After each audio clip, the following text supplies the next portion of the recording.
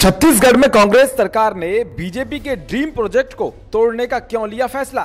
करोड़ों की लागत से बने प्रोजेक्ट पर भूपेश सरकार ने क्यों लगाई रोक? प्रोजेक्ट का 80 फ़ीसदी काम पूरा होने पर भी कांग्रेस ने क्यों की टेढ़ी नज़र?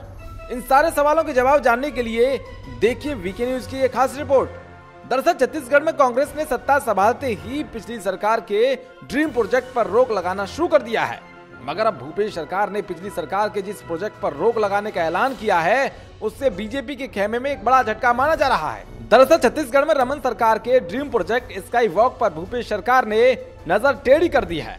लगभग अस्सी फ़ीसदी काम पूरा होने के बाद अब नई सरकार इसे तोड़ने के मूड में है और इसके लिए जनता से रायशुमारी की जाएगी। हालाँकि पिछली सरकार इस ड्रीम प्रोजेक्ट से राजधानी की जनता को आसमान में चलाना चाहती थी और शायद इसलिए इसका नाम स्काई वॉक रखा था। मगर उस वक्त शहर के बीचों बीच बने इस प्रोजेक्ट को लेकर सरकार को कड़ी आलोचना का सामना भी करना पड़ा था।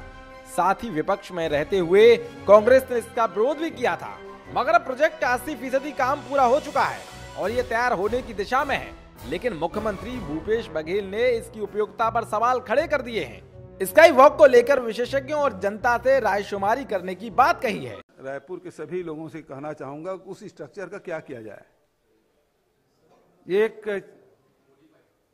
क्योंकि वो खड़ा तो हो गया है। अब उसको क्या, किया जाए खर्चा तो कर दिए। हाँ? हाँ मैं तो मतलब जनता से विचार आहूत कर रहा हूँ, आपके माध्यम से। हाँ जी? हाँ आखिर कुछ कुछ ना कुछ उसका उपयोग होना चाहिए। इतना बड़ा स्ट्रक्चर खड़ा हो गया सरकार का पैसा लग गया है कई वाक में कोई चढ़ेगा नहीं।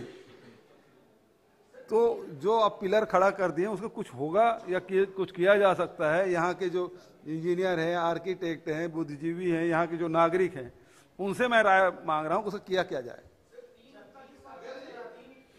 बता दें कि पीडब्ल्यूडी विभाग ने सबसे पहले स्काई वॉक का ठेका जेएस एक्सप्रेस कंपनी को दिया था। जिसकी लागत करीब उनचास करोड़ थी और काम की म्याद 2018 फरवरी की थी।